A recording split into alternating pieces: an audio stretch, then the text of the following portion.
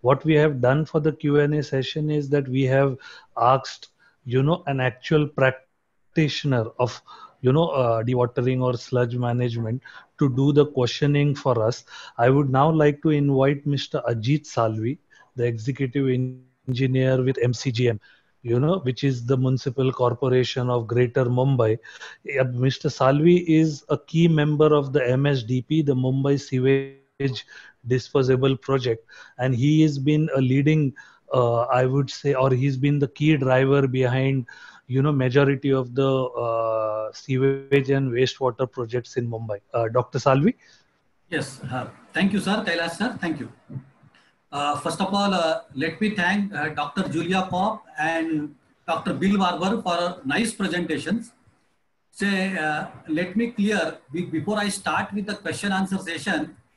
Dr. Julia and Dr. Bill Barber, please see that we have received so many questions uh, you can see in your question and answer uh, box also. And along with that, we have received some of the questions on email and that I'm going to just uh, uh, uh try to take in our this question and answer session. See, uh, to be very frank, see liquid treatment and then solid treatment. So lot, lot many things is already talked and already discussed about the liquid treatment. But the sludge treatment is comparatively new to the developing countries. And that is the reason we have received some of the generalized question about the sludge management and uh, sludge treatment. So for the benefit of the participant, for the benefit of the participant who are listening our webinar, we will try to take, take this, all these questions, which will be benefited to all participants and it will enhance their knowledge. So uh, I, I, will kindly request Dr. Julia Kopp and Bill Barber please answer the questions as per your specialization. The first question I can say it is addressing to both the experts and the question is what? What are the trends you are seeing with request to the biosolid management? So see because as I said this biosolid management is comparatively new uh, trend and we are talking particularly in India also uh, uh, treatment of the biosolid is nothing but what just drying it and use it for the as a for the fertilizer or anything else without any further treatment. So what you what you expect? What will be the future trend in this biosolid management? Uh, Bill, you can uh, go ahead. Uh, thank you very much. Um, it's, it's an interesting question. There have been obviously things have changed over the years. Drivers have changed. So if you look back maybe 20 years or so ago, there was a concern about application to land. There were foot and mouth disease. There were scare stories in the newspapers. Uh, you know, the scare stories. Oh, human sewage being put on the land, and then food, and so a lot of people were being put off land application of sludge. So 20 years or so ago, you saw a big trend towards um, moving away from that outlet. So a lot of incineration, thermal treatment, uh, you know, to minimize volume of sludge and go away from that having said that, if you move forward, say, eight, about eight years ago, there was a big spike in oil price. Uh, sorry, in 2007, 2008, uh, the cost of um, phosphorus and nitrogen fertilizer massively went up, and then that made people rethink, you know, the value of uh, biosolids in a more circular economy way. So people started looking more towards perhaps going back to land is, is a preferable thing also from respect to saving money and from an environmental perspective. So, you know, I have a lot of my experience in the UK. If you look at the UK water industry, it moved from drying and incineration in the early 2000s more towards digestion for renewable energy recovery and application to land. Now, that, that is in, in the UK and other parts of Central Europe, there are regulations preventing land application. So, if you look at uh, Germany, for instance, that there's incineration. So I think it very much depends on the local regulations, but I think where there's a choice, it, there's more emphasis towards land application. I think biosolids management has a lot to do with risk management. You don't want to put all your eggs in one basket and then suddenly that outlet is closed overnight. So it's, it's, it's managing risk and knowing how to spend your money wisely so you are managing long-term risk. But I, I think the more we go forward and the more carbon footprint and um, is, is in the news, the more we are moving towards land application if it's possible. Yes, uh, uh, a really uh, nice thing. Uh, before I talk something, Dr. Julia, you want to add something? Please add. Yes, of course. I think um, if you are in the opportunity to build up new ways for the treatment, able to a lot of lessons learned. So you can use this new part of technology to get a suitable treatment process. First of all, you have to look for the wastewater treatment, and then you have to adjust such as biosolid management. And what we see all over the world that all treatment plants are growing systems. You learn something, you build something, and then you try to adjust it every time. So it's a patchwork solution. If you're in possibility, as I hear from, um, from India, build up new processes, you can make a very smart design. And uh, uh, uh, uh, sorry, sorry to interrupt you. Your voice is not clear. Huh? Just check. Yes, oh, uh, Dr. Kopp, your voice is not clear. It's better now? Ah, yes, yes. Yes. Yes. yes. If okay. you could repeat uh, ah, what you just do. said. So the main message ah. is you have, you're in a bit good position to skip all these lessons learned. You have, have no patchwork solution like in other other countries, and you are able to implement very effective technology. And in my opinion, um, the way from Germany to integrate anything it's a bit difficult, so I can really um, use biosolids with a good quality for agriculture use. It will be a good way, not to waste nutrients for the soil. So yes, to be very frank, we have to make some changes in a uh, total concept-wise changes is required. So uh, particularly one should think that biosolids are nothing but it is an energy source we can get lots of nutrient from that and all other things. Particularly, as I said, in developing countries, it was treated like a waste only. So that total thinking has to be changed. And uh, this is a need of an hour. And that is what. Thank you, Dr. Bill and Dr. Julia. Uh, see, uh, if continuing with the all this aspect, what you think, particularly uh, uh, Dr. Bill you can talk about how can the energy demand of the thermal hydrolysis be reduced if in continuation with the energy requirement? Yes, thank you. Um, as, I, as I briefly mentioned, uh, uh, there are alternative configurations. So uh, with normal thermal hydrolysis, the primary and waste activated sludge thermally hydrolyzed in, in combination, uh, th there is a small uh, parasitic load, even if you have a recovery with, with uh, cogeneration. This load is somewhere between 1 and 3% equivalents of, of your biogas. Having said that, the, the amount of energy you need for thermal is fundamentally dependent, and again, this goes to Julia Kopp's comments, what you do in the wastewater treatment plant fundamentally impacts what happens in the sludge side. So the, the more primary sludge you have, the better the energy balance, ironically, even though there's more impact on the waste activated sludge. So so what happens is if I have primary sludge, if primary sludge is more than about 75%, then there is no parasitic load, even if I'm treating all of the sludge. So the more waste activated sludge I have, the, the worse, the more parasitic load. Having said that, there are many instances where primary and waste activated sludge are thickened separately. As research has shown that, the, as, as Dr. Kopp said, most of the issue with sludge management is, is the management of activated sludge, not the management of primary sludge. So if you thicken the material separately, you can put the thermal hydrolysis only on the waste activated sludge.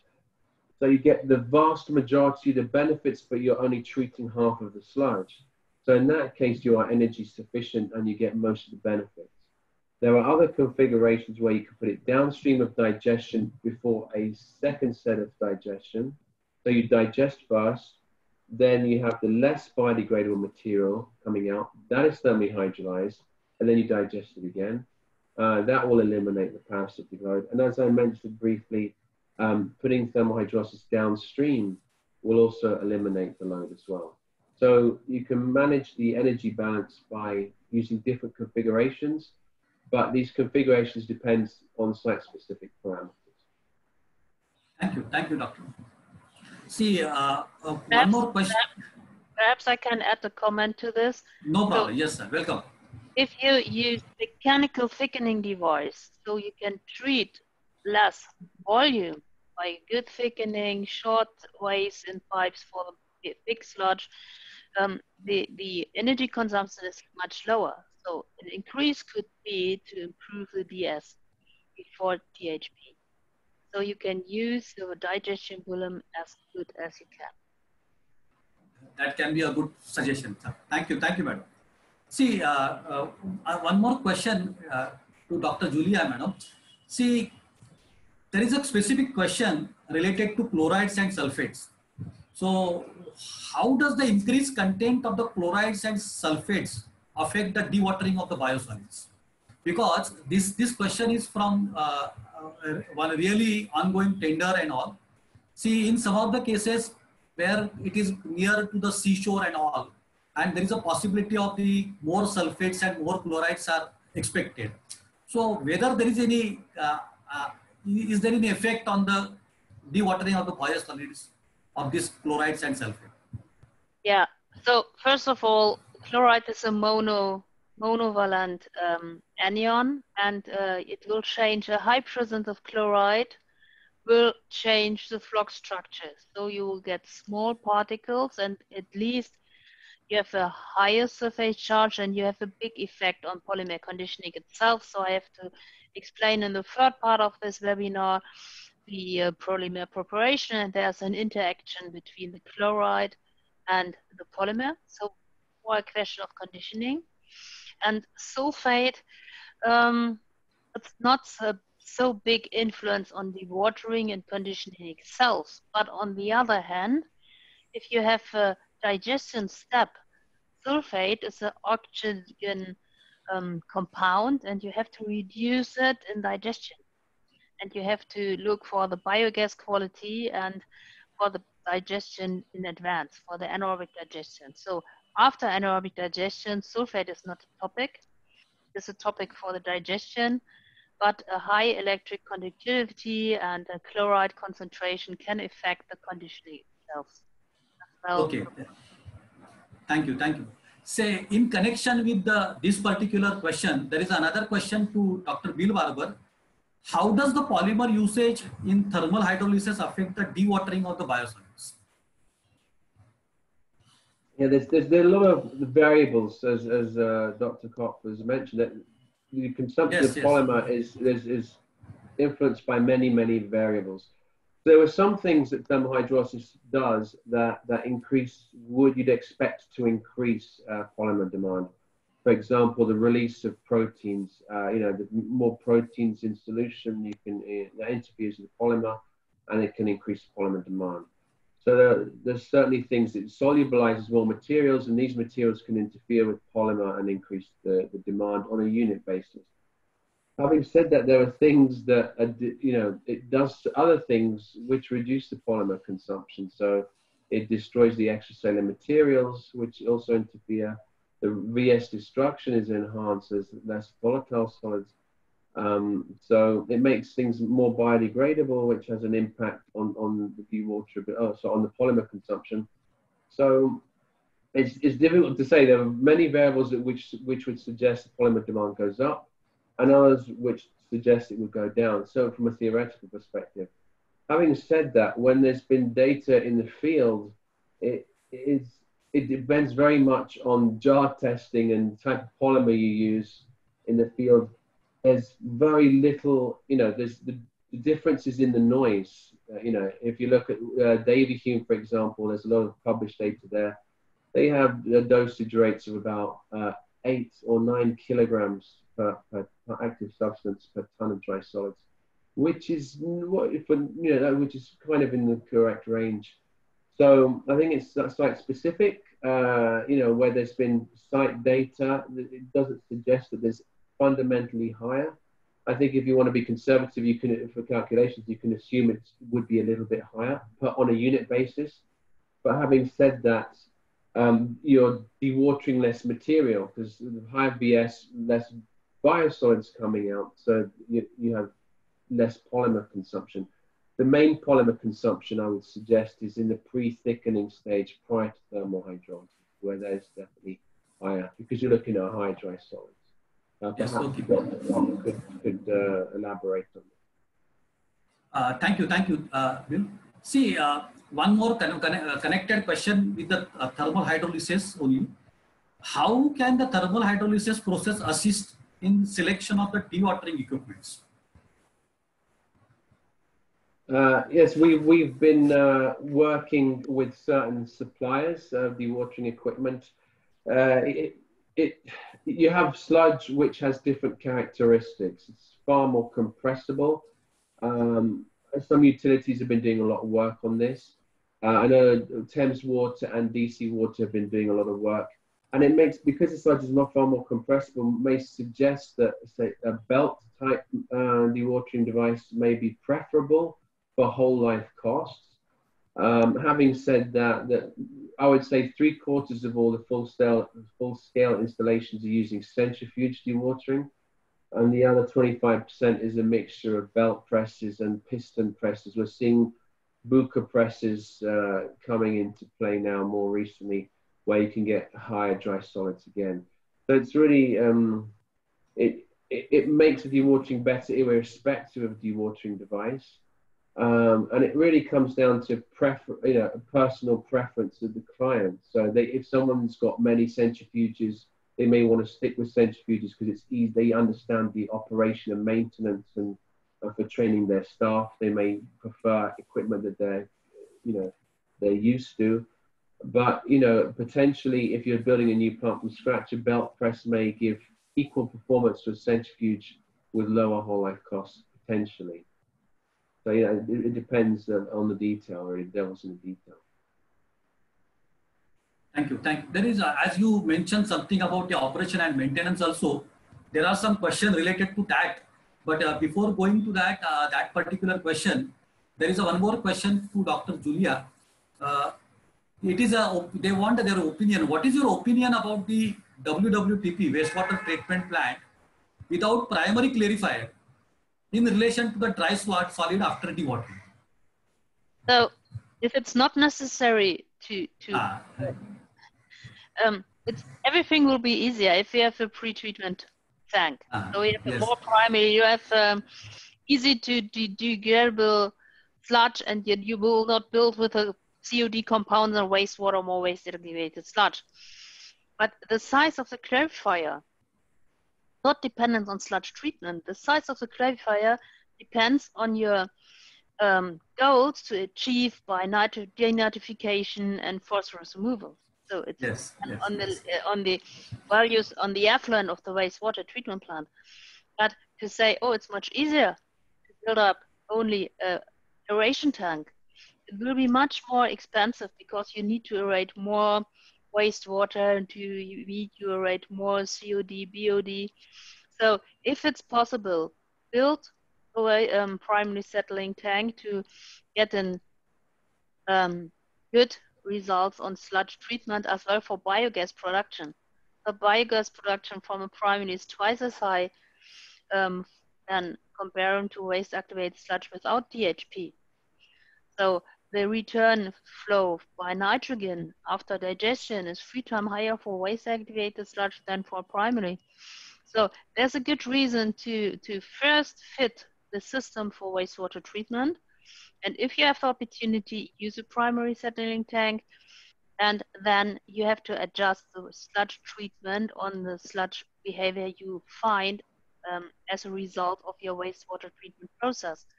And of course, can do everything you like, but it will be much more expensive if you are uh, produce only waste activated sludge.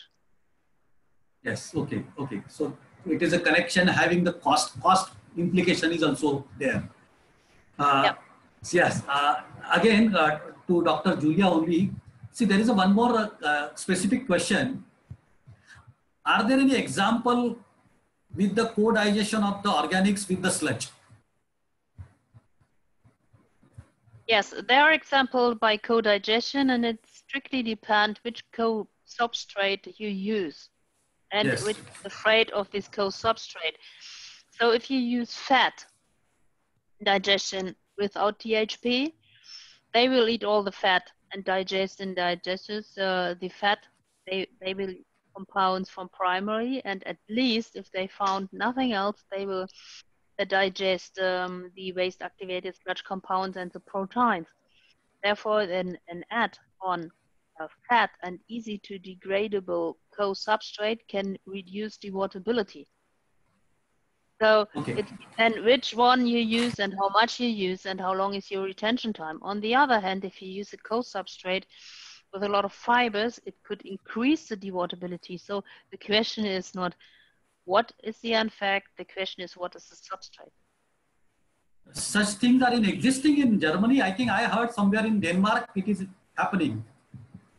There Uh, are some existing plants for co-digestion in Austria as well as in Germany, and Ah. um, that's a it's a construction and and normally the sludge after dewatering will be burned, and that's a way to reduce food waste. Um, but on the other hand, if you have a fiber material co-digestion, I, I believe Cambi has some experience by thermal treatment of uh, a plant behavior or something like this uh, for co-substrate pre-treatment. Perhaps Bill can tell something to this. yes, okay. Uh, Bill, Dr. Bill, you want to add something?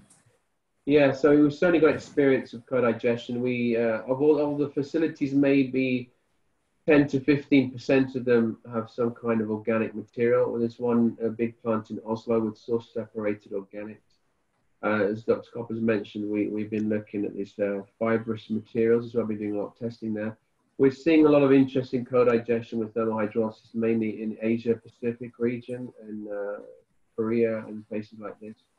Um, and obviously in in uh, Scandinavia, there's a lot of uh, co-digestion where, and uh, the point where the fertilizers, new, the the digestate is used as a fertilizer, but also the biogas is doesn't go through a cogen, but goes through an upgrading system, a biomethane system, and then goes into fuel for buses. So more like a circular economy kind of thing. So the things to consider with co-digestion and thermohydrolysis is the operating temperature. A lot of these materials are far more biodegradable than sludge, so you don't really need to go as high in terms of the temperature. Um, and and and also there's a concern potentially about interactions between sugars and proteins in, in the food, which can generate these materials which are non-biodegradable. So that's something that you need to consider as well. Yes, yes, thanks. Interesting, very interesting. See, uh, now this uh, another particular question is a very uh, specific and related to site-specific question to both the experts. Say, particularly uh, availability of the sufficient land is a major issue in our metro cities, particularly India, and I'm talking about Mumbai. See, everything is available, land is not available. That is the issue. If you consider this particular aspect, so what are your recommendations for handling of the biosolids totally in, in, in general? Uh, Dr. Julia, you can start. Um, it could be a good idea to have a very compact system. So you, Ah. you can use very deep pools and uh, tanks for the aeration. Perhaps you you use the clarifiers and add the filtration, so you need less clarifiers for the wastewater. Afterwards, I will suggest to make a pre-dewatering as high as possible and a very short way to thermal treatment, a very short digestion time, and afterwards perhaps you use a centrifuge. It could be a very compact system. And for example, there are some new processes. You combine the centrifuge with drying in one unit, and then you get a good fertilizer. You you can um, um, pass all these uh, classification for fertilizing and class A. So there will be a way to do it, but not only the place. You have to use this very complex and compact system with a good operation and survive. So you need automatization, education to, to bring it in, uh, in, the, in the running system. Uh, Dr. Va- Bill, Bill? Yes, I, I, I'd agree with a lot of what Dr. Copper said. I think you are looking to uh, enhance the capacity of your plant. So really, you want high rate activated sludge treatment processes, you know, using carrier material or some means of keeping the sludge in there for longer for shorter retention time. uh, obviously with the digestion, you know, looking at hydrolysis or something else, anything that can minimize the size of the digestion plant is going to be favorable. And in terms of the biosolids application, anything again which improves the dewaterability and the, the VS destruction will result in the least amount of material uh, leaving the site, irrespective of whether you landfill it or incinerate it or whatever you know, a good example of, of somewhere in the world which has got very little land is Hong Kong. So looking at Hong Kong, there's a lot of mountains there. Real estate is amongst the highest in the world. Just this month, they've they've um, put out a note saying that they're going to go for thermal hydrolysis of their sludge in Hong Kong, uh, digestion, thermal followed by incineration. So you know that that's an example of where the technology is used in a very densely populated area with little land availability. Um, and also the issue there is there's a high salinity in the sludge as well. So even if the land were available, it's, um, there's not much outlet for the, for the biotech. Yes, yes. See, the point is what? See, particularly, uh, there is an issue. All the uh, local bodies, they are in trouble as the uh, controlling authorities are coming with the very stringent standards uh, for, for the treatment. And at the same time, there is a unavailability of the land and all, all problems are there. So that is the reason the technology providers and the experts in the field, it is their duty that they should come with the new technologies and new concepts so that the purpose can be solved and the total environment can be protected. That is the idea. Say, in connection with that, as a, a, a Dr. Barber was talking about the operation maintenance and all, say particularly in a, a India country like India and all, what I found or what is my experience is what the operation and maintenance. This is what a somewhat neglected issue. Once the the uh, installation is done and it is commissioned, uh, some of the installations are failed only because of the operation and maintenance aspect. So restricting to the discussion to the biosolids and dewatering of uh, uh, concept only, my question is what is rather than the one of the participant he asked the question keeping in the mind the recurring cost of the operation and maintenance it is a very huge com uh, uh compared to the the uh, capex cost. What uh, what care should be taken at the time of design of the dewatering system? Uh, dr Kopp, you can start with this and then uh, dr barber can add Um, I'm not sure if I understand completely the question, but I try. So if you design a dewatering device, the first question is um, how many hours you can run the device. And you need a bit of uh, extra capacity, but at least if you have a full automatic process, you can use a device running 20 hours a day.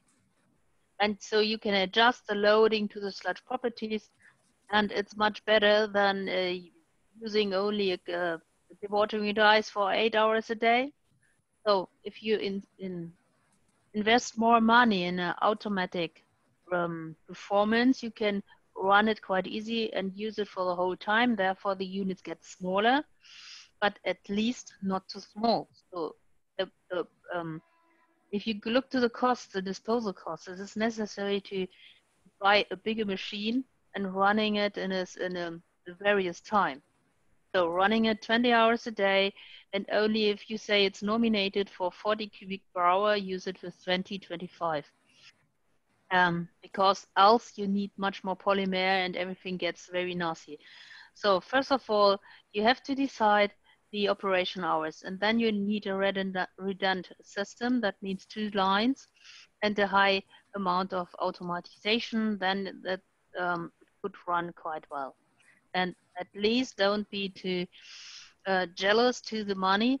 Um, the operation depends on, for example, polymer. Polymer is a cost that's that's as um, uh, accumulated over the years. So if you make the process is stable, if you feed a machine with kilo dried solid power, so you need a you need an online measuring system for the DS and the incoming of the machine nevertheless a, a belt or centrifuge, and then use the right polymer dose. And this is a minimum you need to make a good performance for sludge dewatering, and then you have to decide the operation hours per day. Okay, okay. I agree. I think a good control system and the automation can also help in that. Okay. Dr. Barber, uh, you want to add something? Yeah, I, would agree with everything Dr. Kopp said. I, I, certainly polymer is expensive. Anything you can do to reduce polymer consumption, whether it's online instrumentation, I think is is hugely beneficial. Uh, as I said before, you know, typically historically, more centrifuges were used with thermal hydrolysis because of the superior perform superior performance, typically compared to a belt um, on, on ordinary sludge. Uh, so people just stuck with centrifuges because they had them. But as a lot of testing has shown, as um, because the sludge becomes much more compressible, the performance across dewatering devices becomes very similar. So that that advantage seems to go away. But then it becomes down one of choosing the dewatering equipment based solely on the whole life operating cost in terms of the polymer consumption uh, the operating hours and, and the operator input, you know, the, the, uh, and but again, it comes back to the point we talked about a moment ago. You know, belts may have a larger footprint, so you know you may need far more footprint to fit your belts in an equivalent centrifuge system. Um, talking a little bit, you know, in a bigger envelope, more towards the hydrolysis and digestion. Typically, what we're seeing is when you put hydrolysis and digestion together, the overall operating costs on the existing plants are approximately half of those where there's only digestion. And that's including even all the liquid treatment costs and all of that. So that's obviously a, a, a geographical thing. So that, that that difference is different in different parts of the world depending on the value of the gas, the value of the recycling and, and the, the, cost of polymer and stuff like this. But it's typically rule of thumb, it's around about 40 to 50% of the cost uh, of, of not having the hydrolysis system there. Even, if, even though the cost is made up of far more variables. Say, uh, let me, participants are listening. There are lots of questions and this session is continued. So I want to give the assurance to the all participants though all questions are not attended here, but you will get the answers of the all questions through email at least, not in a uh, live webinar, but you will get the answer through email. But we are trying to get, uh, trying to cover more and more questions and our experts are there to answer the thing. Uh, Kailash, you can uh, interrupt as per your time, uh, please. There is a, uh, I'm just taking no, some sir, questions. Uh, we have enough time. No, we have some time because both the presenters were very economical with their time in presentation. So we have some yes. time. Sir, I have a particular question that has come up. Maybe it's for Bill. Uh, Bill, the question is how do you compare low temperature THP technologies against high temperature THPs in view of energy usage? And neutrality. Yeah. Yes, of course. So, so yeah, there are there are lots of hydrolysis systems which run at different temperatures. So, a lot of the ones which run at a lower temperature are combined with something else. So, for example, I think uh, Julia Kopp mentioned one of these before. You know, you could have a lower temperature, let's say 100 degrees C, uh, plus chemicals. Uh, so you have a combination of thermal hydrolysis plus chemical hydrolysis. Obviously, with the thermal hydrolysis, the higher the temperature, the, the, the, the greater the extent of hydrolysis. You know, if I ran at 300 degrees C, that's by far the best, but then you can't do anything with a liquid and, and the energy balance. So it's, it's a case of looking at the energy balance. Um, but as I said before, obviously the lower the temperature, it, it's, it's, a fact of the type of sludge you have. The more waste activated sludge, the, the, the greater the energy I need to heat it up uh, because of its uh, rheological properties and its uh, specific heat capacity. Um, so the more WAS I have, the higher the energy content. And the more dry solids I have, the lower the energy content, hence having the pre-thickening upstream. So for example, uh, heating at a higher temperature, high dry solids, I may actually use less energy than heating at a lower temperature with a lower dry solids because the vast majority of the energy needed to heat the water. Um, so it really, you would need to work it out depending on the quantity, the, the, the dry solids content, type of sludge, and, and how efficient the system is at retaining heat. So you're looking at the, if you look at the technologies of black box, whether it's low or high temperature, whatever, you're heating the difference between the temperature going in and the temperature coming out. And, and so what comes into play there is how much of the temperature you're recycling within the system. So the delta T becomes an important variable. So you'd have to calculate that on a, on a case by case basis. But as I mentioned before, the, the energy balance in the biogas is, is of less importance than other variables. You know, so um, I perhaps it'd be a useful talk for next time. But you look at the economics of running a thermal hydrolysis plant, people always look at the energy costs and the energy. So everyone's focused on increasing the dry solids to reduce the steam, to reduce the gas demand. But when you actually look at the costs overall as a percentage of the whole operating cost, it might be 5% or less. Things like polymer are far more significant in cost than, than, than energy for heating. You know, people don't realize that, but when you look at the, the additional variables, the electricity and all other stuff, it's actually not a lot, the energy. Uh, so it's important to be aware of it, and we're always trying to keep the energy down by having different configurations. But it's often over. Its importance is overestimated. That's for that. When you look at actual numbers um, and you do detailed economic analysis. Okay. Perhaps I can give a comment to this too. Okay. So if you look to the chemical thermal process with 65, 70 degrees Celsius, so it's come from the histories. You have an existing wastewater treatment plant, existing sludge management system. You want to implement um, the thermal hydrolysis. You want to, you are not um, willing to buy a, a, stream production or a heat exchanger. So you can use the excess heat from your gas machines. You will achieve 65, 70 degrees. That's it. And then to improve the, the thermal hydrolysis process, it's necessary to add caustic soda. So this process is not um, built up for a new greenfield treatment plant. Um, this process is built to an add-on on existing treatment plants. So you have to decide by yourself, um, I'm a, am I afraid about steam or not? That's a, it's a big, big trouble uh, in Germany, for example. They are not so um, um, agree with stream treatment. On the other hand, if you build up everything new, everything compact, you can fit it all together. It could be much more interesting to treat both the primary and the waste activated sludge by thermal treatment process to build smaller digesters. If you had a big old digester and enough retention time, you want to improve your dewatering.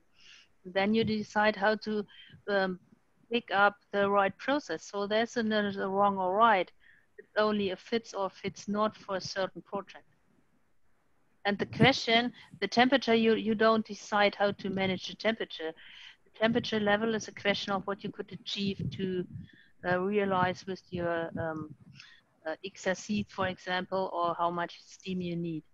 And if you say much is more, that's not right. If the temperature is too high, the denaturation is so strong that the biodegradability will reduce at least and the increase of uh, return flow increase too. So for this, for the Cambi process, THP or other processes, this 150 degrees Celsius is uh, quite common.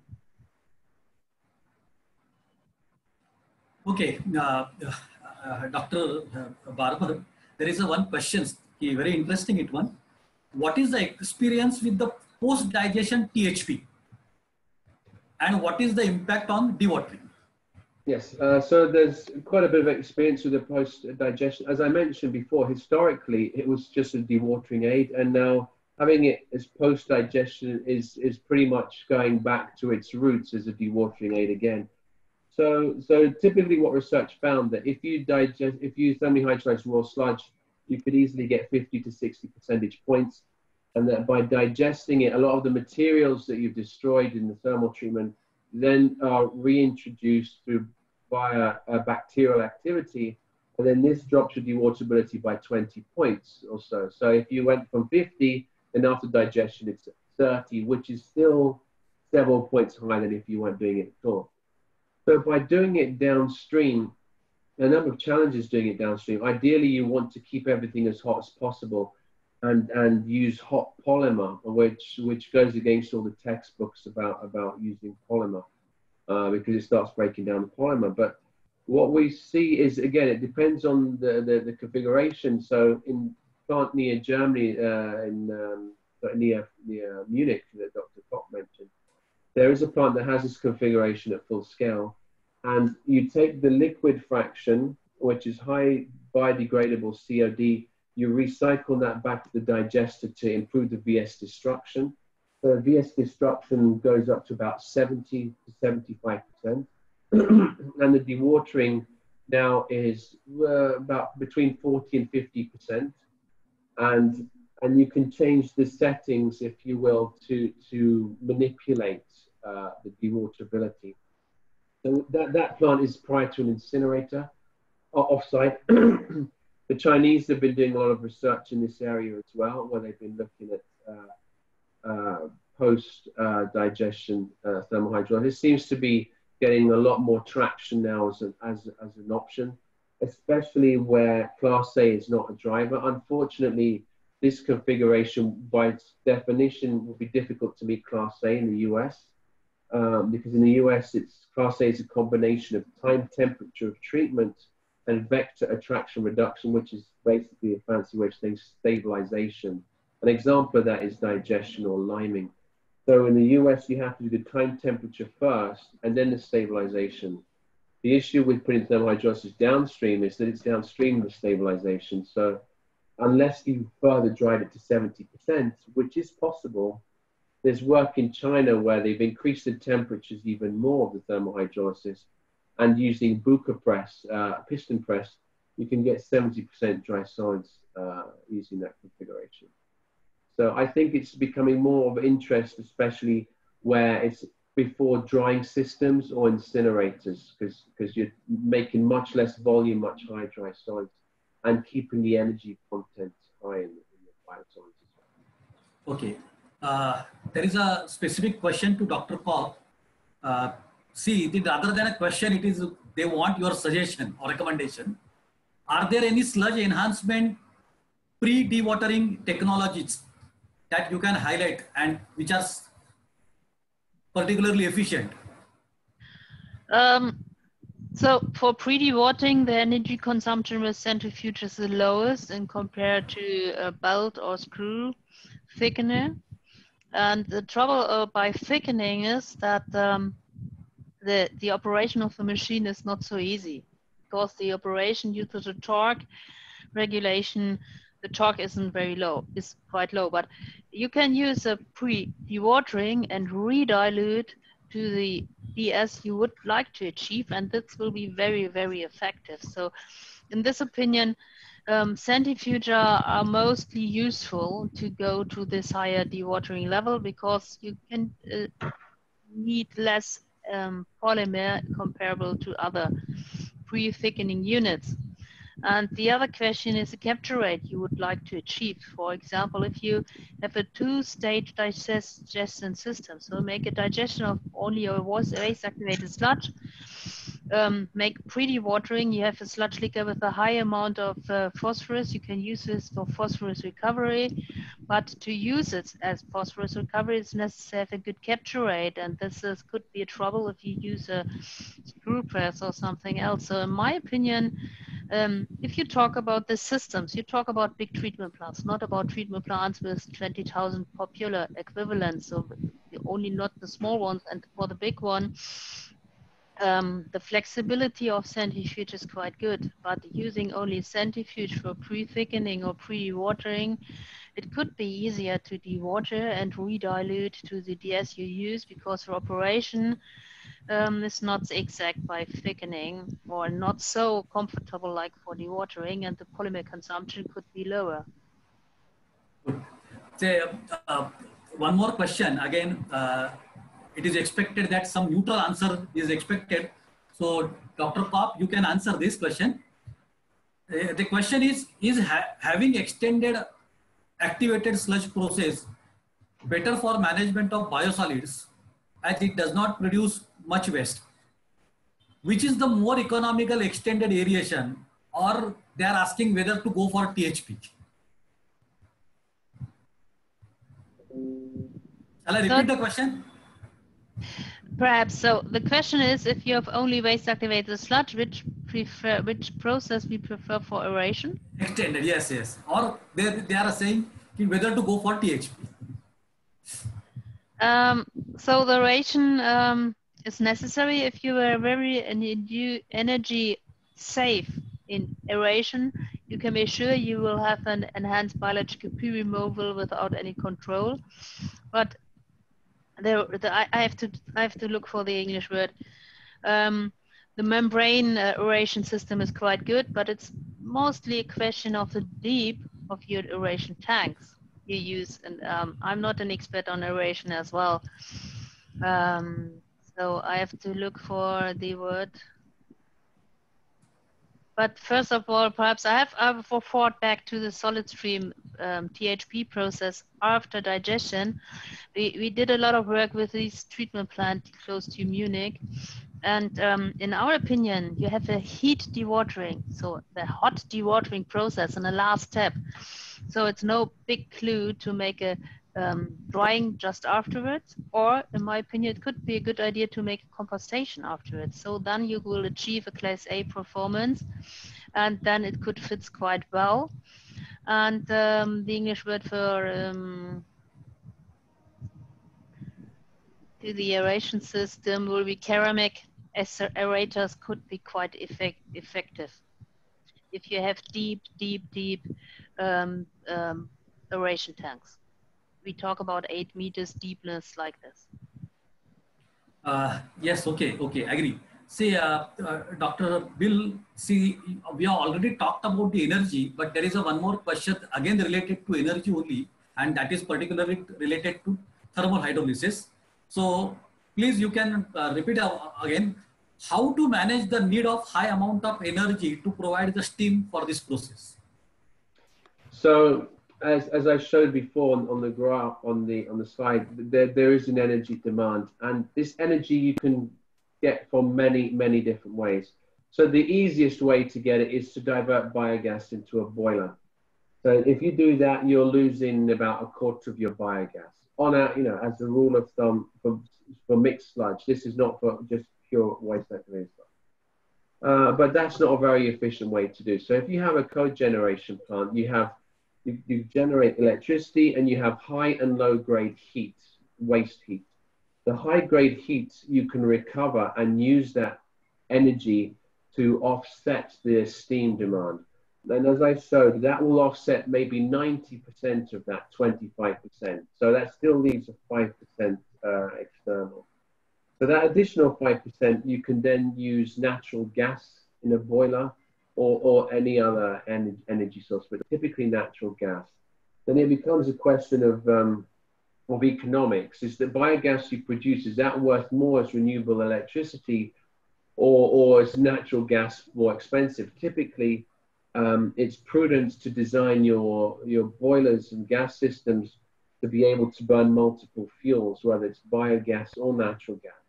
And then you can manipulate the operation depending on the daily gas prices. So typically, from an from a, an environmental perspective, let's say it makes more sense to use biogas, but from a financial perspective, it makes more sense to use natural gas because natural gas is, is far cheaper than the value attributable to, to renewable energy from biogas. Thank you. Thank. Say, uh, let me take one more, two, three question more, which is a very generalized. Uh, Dr. Kopp again, uh, there is a question. Can you comment on the influence of the temperature on dewatering? Yes, there's big influence on temperature on dewatering. So if you are able to water your sludge warm, the, the temperature level of your digestion, everything is fine. If you if you forget it in a thickener uh, or storage tank and it's cooled down under 20 degrees Celsius, the viscosity of your sludge increase and therefore the dewaterability decrease slightly a bit too. So you, the water needs more time to leave the sludge uh, floc structure. So there is an influence, but if you get this nearly the same level between digestion and dewatering is quite interesting. It could be quite interesting to make a vacuum degassing to put all these release biogas out and get um, compact sludge cake But on the other hand, if you say the higher temperature, lower viscosity leads to better dewatering results, you have to take care to the polymer itself. So the polymer gets in trouble by 50 degrees plus. So it's not a good idea to prepare a polymer with too hot water or to increase um, the temperature up to more than 50 degrees Celsius. That's one of the trouble we have to learn by operation this Cambi solid stream process. So um, the, the, the main topic you can keep in your mind is don't lose the temperature level after dewatering, but it's not necessary to preheat more um, the process. Good. Okay. Uh, one more question to uh, again Dr. Kopp. In uh, wastewater treatment design for a total phosphorus removal less than one milligram per liter. Yes. Do, do we need to go for thickening and dewatering in separate steps? This is what they ask. Um, normally you have steps. Uh, okay. Phosphorus removal to a, to a value less than one milligram per liter is a state of technology in Germany and Europe. And of course, you need some precipitation in the effluent to reduce, and therefore the phosphorus level is lower comparable to for sludges from US. And the, uh, the I'm, I'm not sure, you mean you need a, a separate step for handling phosphorus after thickening or after dewatering? Um, I think after thickening, it's not a problem because the, the reload of phosphorus by thickening is only a question of storage time uh, under anaerobic conditioning. Therefore, I suggest thickening, just fresh, no problem. And for dewatering, it could be a good idea to make uh, a reduction of phosphorus before dewatering, just in in um, in um, to reduce all the trouble phosphorus can do by struvite precipitation in the pipes and the pumps. Uh, so you can use the struvite precipitation in advance uh, upstream of the dewatering to increase dewatering and to reduce the return flow from the sludge liquor itself. And um, you can combine THP and phosphorus um, precipitation due to the fact if you have a higher degree of degradation in your anaerobic digestion, the, the phosphorate concentration will increase too. Not so uh, heavy like the ammonia concentration, but there is an influence on the release of phosphate as well. There is a one more question related to phosphorus again, uh, mm -hmm. because it, I think your slide made them to ask more questions. Uh, each soluble phosphorus contain an indicator of EPS development or does the soluble phosphorus also have a direct impact on sludge dewaterability and polymer consumption? This is a very, very good question, and I, I, I smile as I read it. uh, so, so um, you have total phosphorus uh, as a part of the particle, phosphorus which is associated to the EPS, and phosphate which is quite real soluted. And at the state of research, we just try to make differentiate between the diluted phosphorus and the the associated phosphorus to the EPS as well. So there is not a clear answer, but we can only measure the um, the soluble phosphorus and the total phosphorus, and we can't quantify the associated phosphorus. What we can quantify is the effect on dewatering and the water binding.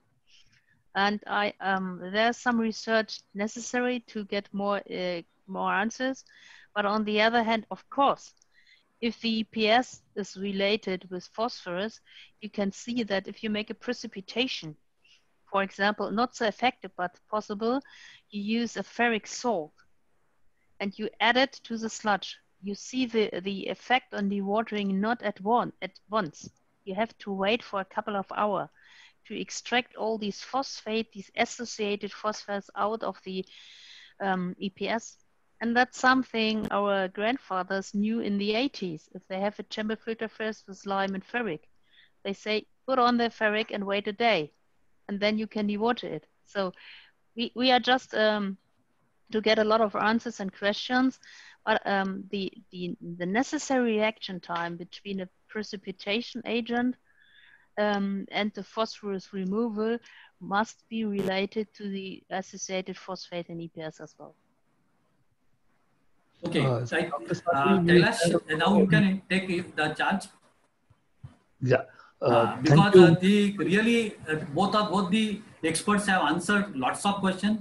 So still some questions are there, but they are very uh, specific, and uh, it has to be that that answers will be given through emails and all.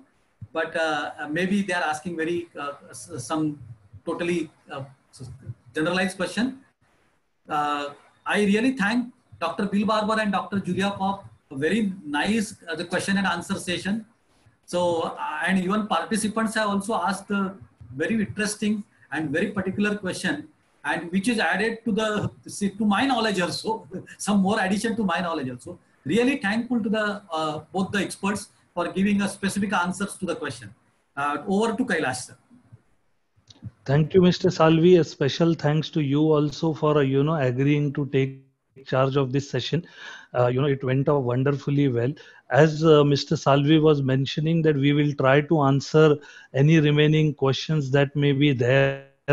Uh, you know, through emails, we will share the balance question with the experts and, you know, get them answered soon. Uh, I would like to take this opportunity again to, thank uh, Dr. Julia Kopp and Dr. Bill Barber for taking time out of their schedules and you know sharing their knowledge and information uh, with us i am sure the audience has found this very relevant and you know we look forward to more such sessions